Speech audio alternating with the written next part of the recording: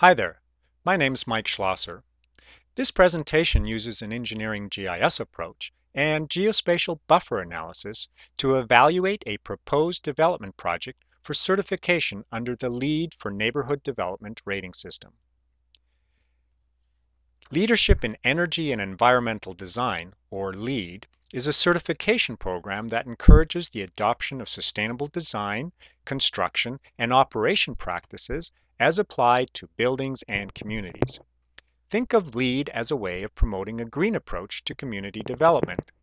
From a civil engineering perspective, LEED for Neighborhood Development is an opportunity to bring together engineering design and GIS analysis methods in order to meet a set of document requirements for achieving LEED certification.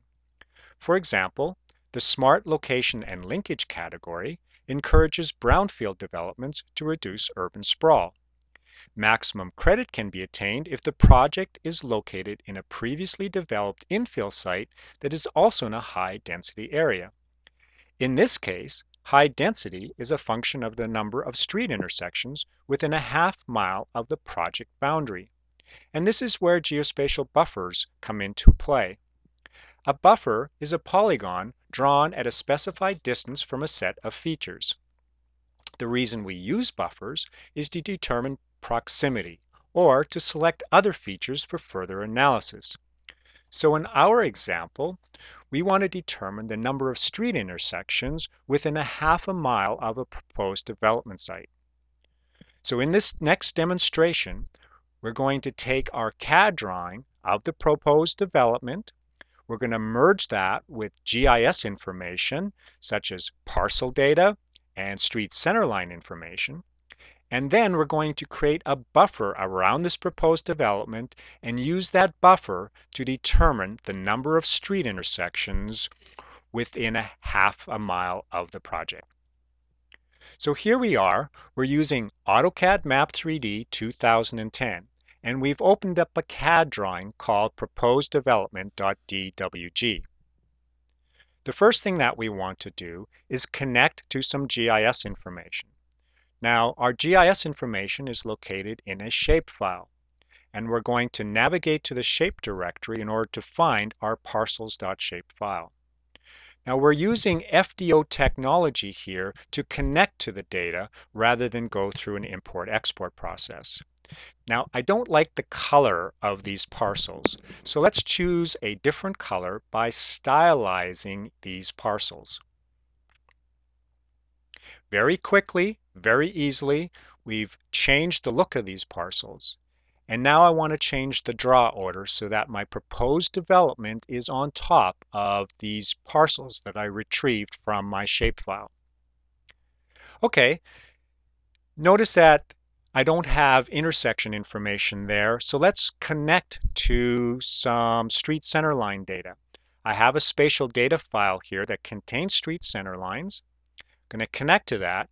And notice that my street center line information has nodes and link information. So let's add that, again, using FDO to my session. So here you can see the links and the uh, square symbols representing the nodes. I don't like the way those symbols look. So let's change the look of those symbols so that they're a little bit smaller and that the color is a little bit more obvious. I'm going to choose a red color here. And so again, very simply, I've restylized this GIS information.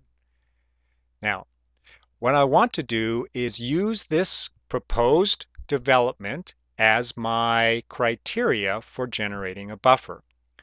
So I select the feature buffer creation tool, select the polygon that I want to buffer, set the distance to 0.5 miles, and very quickly generate the buffer. All right, let's zoom to the extents of the buffer. So here you can see the buffer that was generated. I'm not going to stylize this buffer so that it's a little bit more pleasing to the eye. I'm going to use a transparent buffer and let's take these uh, this, this buffer and change the draw order here so that the nodes appear on top. I'm going to get rid of these links here.